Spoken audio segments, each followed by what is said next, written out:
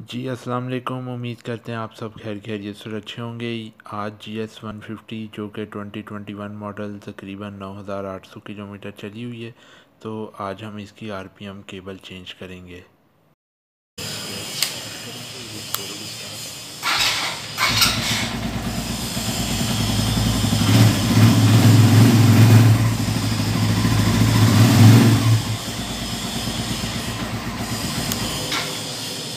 सबसे पहले तो आपने आरपीएम मीटर के नीचे एक केबल का नट होता है, वो खोलना है और दूसरी साइड पे केबल को निकाल के आपने हेड के ऊपर एक नट लगा होता है, वो खोलना है। इसके लिए जस्ट आपको प्लास की नीड पड़ेगी तो आप प्लास की मदद से इसको ईज़ली चेंज कर सकते हैं।